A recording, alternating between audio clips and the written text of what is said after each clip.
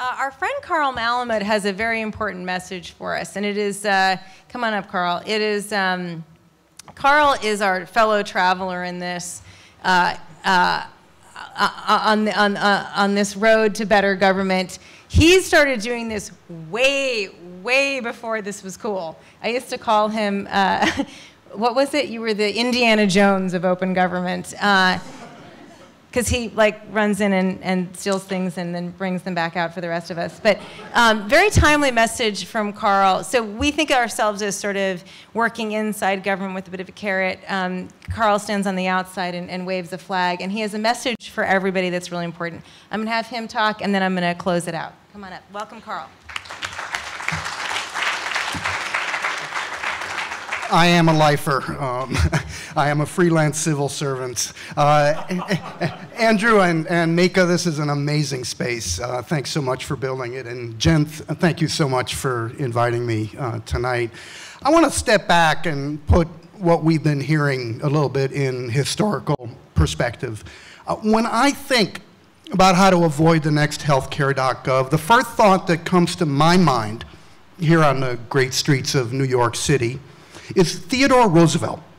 And when I invoke Theodore Roosevelt, I don't necessarily mean we should take a big stick and start whomping on the venal, greedy, incompetent contractors that screwed up healthcare.gov and blindsided our president, though a little stick action might actually be in order. Theodore Roosevelt's second big job was here on these streets of New York City, where he served as police commissioner. He really did walk the streets. He'd go into bars late at night to drag officers napping on the job back to their posts, insisting that the police were meant to serve and not be served. Before coming back here to New York City, though, Theodore Roosevelt did a tour of duty in Washington, where he took a position on the Civil Service Commission and aggressively addressed the most pressing problem of his day a dysfunctional federal bureaucracy that had achieved a state of perfect gridlock. He was relentless and he was unreasonable and he got results. The reform of the civil service in Washington and in our states and cities was a crucial first step. It rebooted the government and laid the foundation that made the great changes of the progressive era possible. Without civil service reform, it would not have been possible for scientists at the Department of Agriculture to create a skunk works that blossomed into the Food and Drug Administration and began to address the sorry state of our food supply the poisoned bread, the tainted milk, the filthy, diseased meatpacking houses.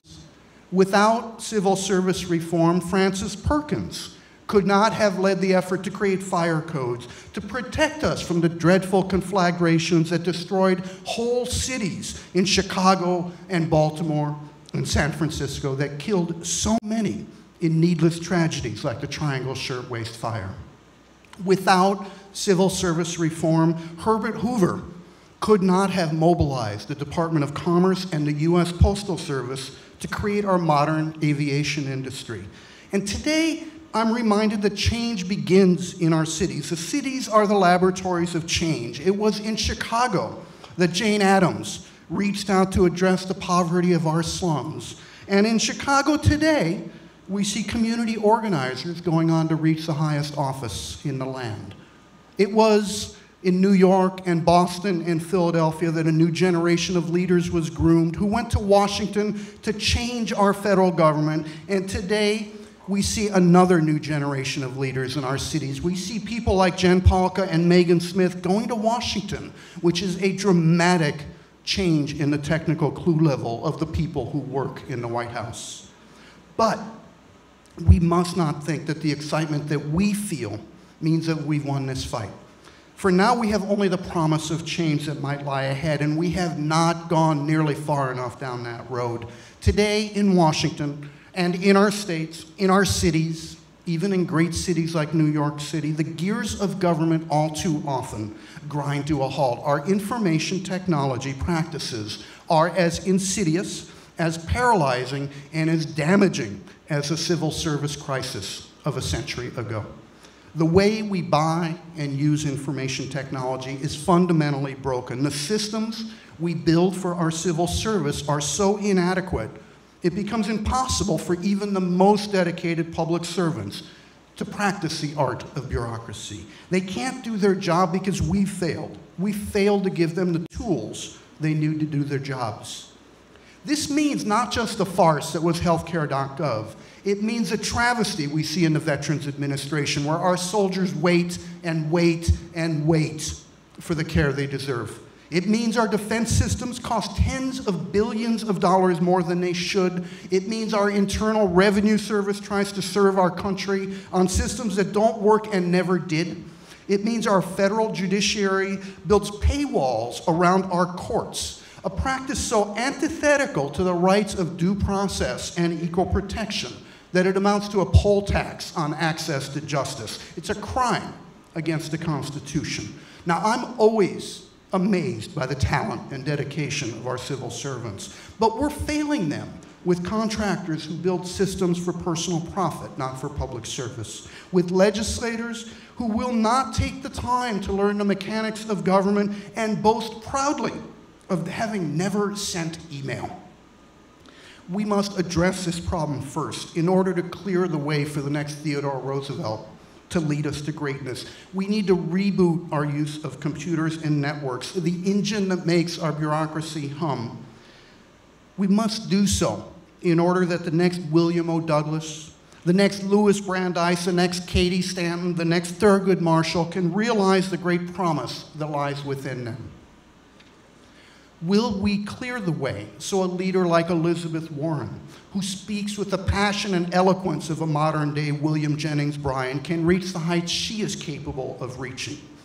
Only if we address our broken infrastructure can we begin to address the problems of our day, the emergency of global climate change, the numbing poverty throughout our country and across the world, the mass incarceration that populates our jails the shameful way we treat immigrants who come to work in our farms and factories, the shocking state of our schools. When I see Code for America, and when I hear people like we heard this evening, and when I see all of you gathered here, I see a bright light illuminating the road to change, but it's not enough to see that light. We must all walk down that road together. We must speak louder so that our mayors and our governors, our senators, our presidents, Understand that when we speak of information technology, we speak of the very essence of government, not some ministerial task that should be left to clerks and secretaries and tech support. We, as a people, we own the government, and we can't be absentee landlords. Each and every one of us must do our part. We are, each and every one of us, civil servants. We are the government. If we all pitch in, we can build that better road, and then we can walk on that road until we reach the shining city on the hill, a place where our civil servants will say, I will do that, instead of I wish I could do that. A place where we reach across the aisle instead of shouting across it. A place where code flows like water and good government like a mighty stream. We must demand that change, and we must be that change. Thank you.